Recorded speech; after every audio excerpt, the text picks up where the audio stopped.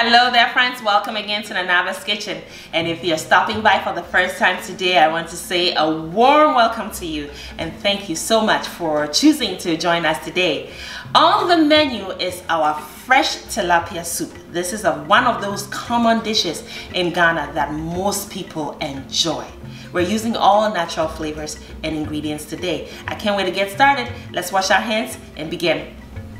Yes, friends. So the fishmonger has this complimentary service where they will clean up your fish for you after you pick it out of the pool of live tilapia. And that's what happened in this instance. So they removed the scales, they gutted the fish, but I'm putting some finishing touches on it. Sometimes some of the scales still remain. So I've removed those, washed it out really nicely. And then I've also cut the mouth off, including the teeth. Now I'm just cutting them into my preferred sizes. And then we're going to move forward with the next step, which is, you know, introducing the flavors that are so important to bring this fish to life. And the next step is preparing our marinade, which this fish desperately needs. So I have onions. I'm also going to include some ginger. Now the ginger you need to cut into small pieces because they have strands in them. So when you cut them up into small pieces and blend them, they blend a lot smoother. Now I also have three cloves of garlic that just joined and then I'm also including my petit belle chilies which you may substitute with your habaneros and scotch bonnets. Now in here I have anise, rosemary, cloves, black and white peppercorns and they're all the same amount, uh, just a quarter teaspoon each. Now this is my homemade dry smoked shrimp which is going to bring us that needed depth of flavor. I'm adding my red bell peppers, so I use half of the whole. I've added some water and a little bit of salt because this is the marinade after all. So we're going to blend till smooth and we're going to incorporate only half of the marinade onto the fish. Set the other half aside because we'll use that a little later on. Massage a fish perfectly so every nook and cranny within it receives this beautiful marinade. We have three hours today to marinate our tilapia. Remember that tilapia is fish, however, it's not seafood, it is freshwater, so it does require a little longer to marinate to really take on the flavors of uh, your marinade. Now I'm adding the other half of my red bell pepper and some tomatoes and I'm going to blend it with the rest of my marinade. We're going to blend till smooth again. So at this point, we're going to begin preparation of the actual soup. Uh, you need an onion for that. So here's a marinade. So we're gonna let that sit aside until we're ready to incorporate it. Now I have a, another onion, a medium-sized red onion, and I thinly slice them because I'm going to caramelize these onions. So on medium heat, my pot goes, and I pour in my good old favorite oil for cooking, which is my cold pressed coconut oil. And you need about two to three tablespoons. Now I'm going to add the onions and I'm also going to add some salt to it to get the onions to begin sweating. That really helps to caramelize the onions a lot sooner than later. So cook it for about three minutes and you, the smell at this point of grilled onions is just out of this world. I've added two heaping tablespoons full of um, my tomato paste. Now that also needs to be cooked out. So I'm going to cook it another five extra minutes, okay, until we cook out that canned flavor. While you're doing this, remember what you're really doing is developing your flavors. You are transforming these ingredients and bringing that depth of flavor that this soup so requires.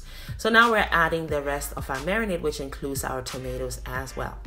So at this point, you're gonna just stir it up and then you're going to cover the pot and turn your heat down to the lowest setting. What we're doing here is going to reduce. At this point, it will take 35 minutes to reduce this mixture. And see right there this is what we're looking for. I have added my some more smoked dry shrimp pieces. I've left them whole. That's an optional step. Now I'm also including my fish pieces. It's been marinating for uh, three hours so it is just perfect at this point. I'm also going to add the rest of the marinade from the fish. And at this point, we're going to crank our heat back up to the medium setting.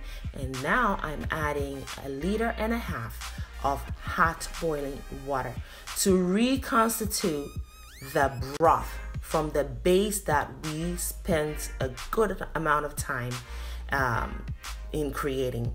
So there we go. Now just mix it up because you want to, that broth to come alive. Perfect. Now it's been five minutes into the preparation since including the fish. Okay, so it's safe to stir the soup up um, because the fish is not at its most delicate stage. You can stir the soup up, obviously, be gentle at the same time. And this is just to get all the ingredients well incorporated with each other. Now I'm going to add some more aromatics. It's been 20 minutes now in, in cooking this soup. I've added some whole chilies, another optional step. I just like my whole chilies in my uh, bowl of soup. I find it very refreshing. Now I'm going to thicken the soup and I have my good old cornstarch solution. Two teaspoons of cornstarch.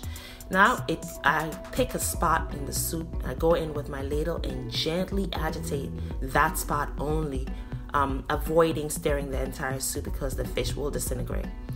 Um, by gently agitating that spot, you are really distributing the cornstarch or your thickening solution throughout the entire soup.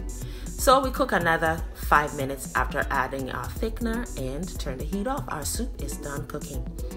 You may use corn, um, corn dough or cassava dough. I've even seen gari in this preparation before if you have access to that. Um, whatever you'd like to thicken your soup with is perfect. Now I've, I've added uh, my basil to it, another optional step, but it freshens everything up in the end. Look at how the fish stayed together.